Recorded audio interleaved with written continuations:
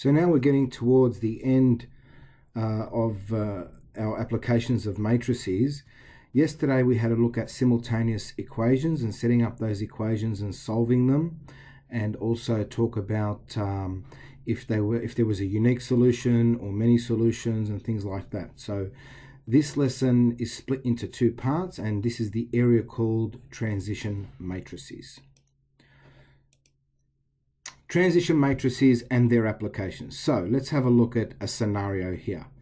A car rental firm has two branches, one in Bendigo and one in Colac. Cars are usually rented and returned in the same town. However, a small percentage of cars rented in Bendigo each week are returned to Colac and vice versa. The diagram be below describes what happens on a weekly basis. So if you have a look at this diagram here, this B here represents Bendigo, this C is Colac. So if they were rented in Bendigo, that 80% of those cars return to Bendigo. If it was rented in Bendigo, 20% of the cars are returned to Colac. In Colac, you can look at the arrowhead, 90% that are rented in Colac return to Colac, and 10% of the cars rented in Colac return to Bendigo. So we've got two branches of this company uh, going on. So what does this diagram tell us? So from week to week, 0.8 or 80%, obviously guys, you know that 80% is 80 over 100, which gives us 0.8, of cars rented each week in Bendigo are returned to Bendigo, as in the diagram. 20% uh, of cars or 0.2% of cars rented in Bendigo are returned to Colac. So we're just reading what happened here and what we're doing is just putting it in dot points and then 10% of the cars rented each week in Colorado return to Bendigo, so on and so forth. So all they're saying here is that we can actually set up a transition matrix like this where we've got returned to and rented in Bendigo, Colac, 0.8. So look this, Bendigo, rented in Bendigo, rented here in Bendigo, are returned to Bendigo, there, 0.8, rented in Colac, returned to Bendigo, that one, then that one, and then that one. That's fairly easy. So it's just setting up those transition matrices for that. So we know that we have um, this matrix transition and T, capital T is our transition matrix. That's what how we denote it as a transition matrix. Describes uh, between two states. So we've got State one being the rental car is based in Bendigo, and state two, the rental, rental car is based in Colac. So, in this situation where the total number of cars remain constant, the columns in the transition matrix will need to add to 100%. So, if I go back to it, you can see here that adds up to 1.0. This one, this column here, 1.0, giving us times it by 100, 100%. The column should add up to 100%. So, you know that. Easy. Example. The diagram gives the weekly return rates of rental cars at three locations, Albury, Wodonga and Benalla.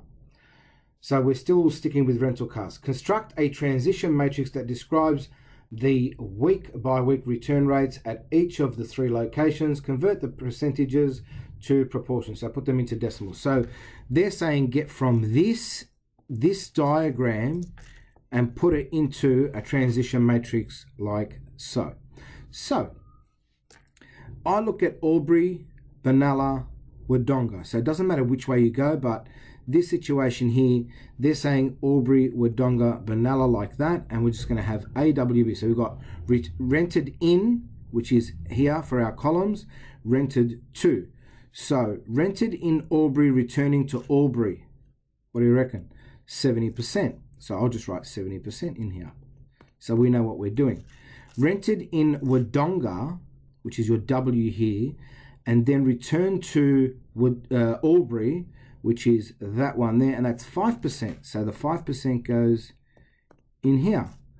Then you've got rented in Benalla, return to Albury, so rented in Benalla, there's your B. Return to Albury, the arrowhead going to the A is that one there, and that's 12%.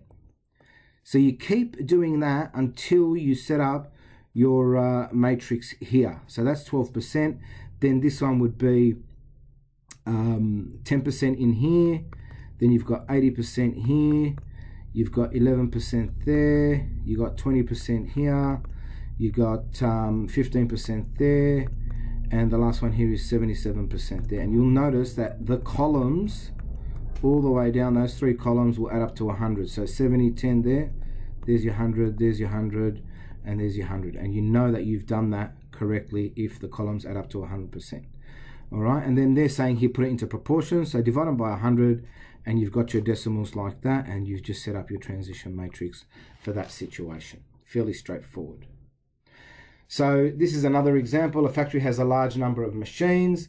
Machines can be in one of two states operating or broken broken machines are repaired and come back into operation and vice versa on any given day so now what they're doing here is they're giving you the dot points then guess what you've got to do?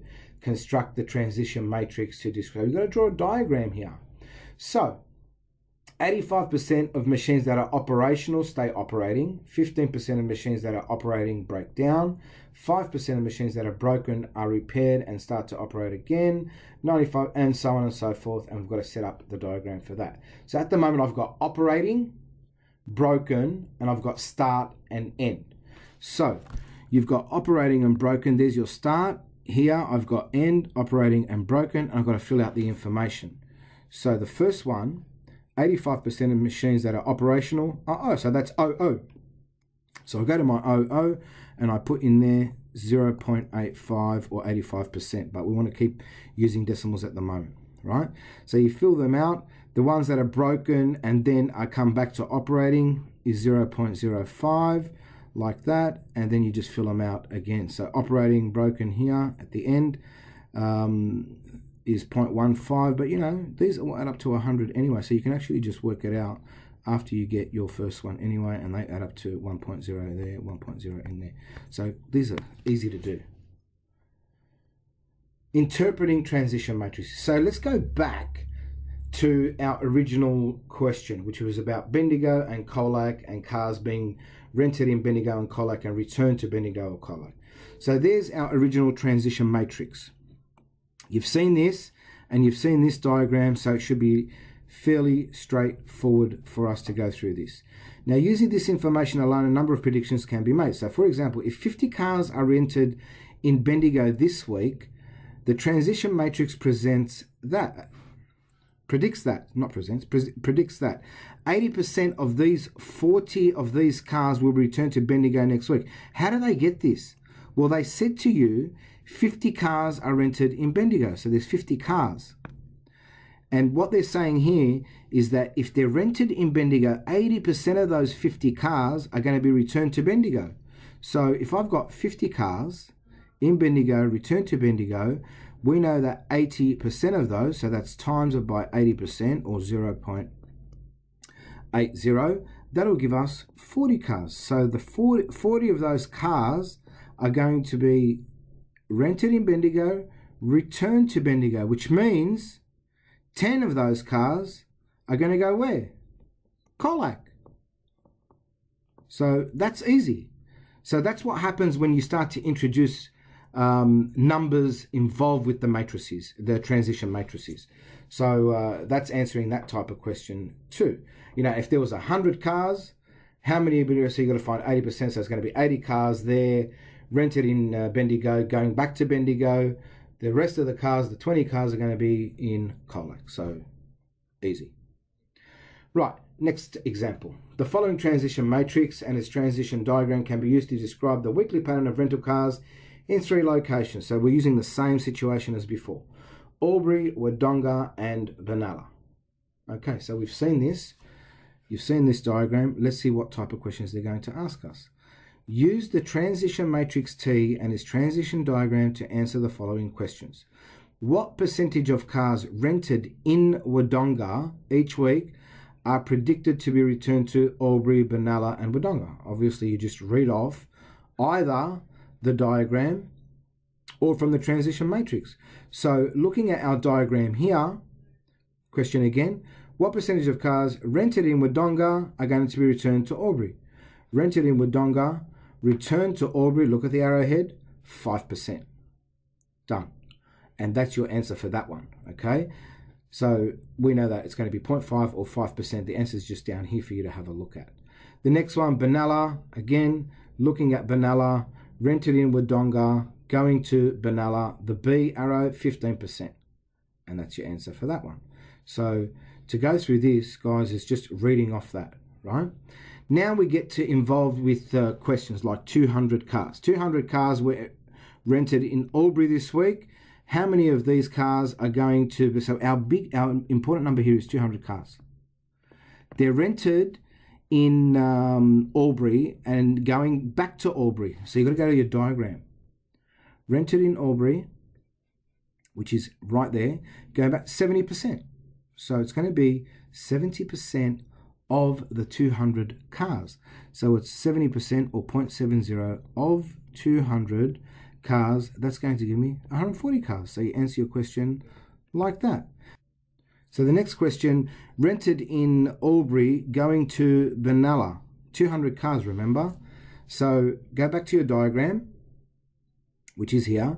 Rented in Albury going to Benalla is 20%. So we know that, that 20% of those cars, 200 times 0.2 or 20% is going to give me 40 cars for that one. And then the last one in that question, rented in Albury going to Wodonga.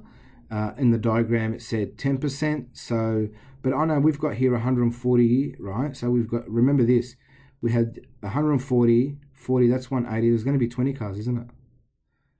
Right? 20 cars, it has to add to 100%. So we've already done two of those in that column, so that's easy to read. But if it was 10%, it's going to be 0.10. I don't know what happened there. 0.1 uh, times uh, 200 and that will give me my 20 cars as well. So fairly straightforward. I'm not going to go through the rest of these questions. You could go through that and that's quite easy.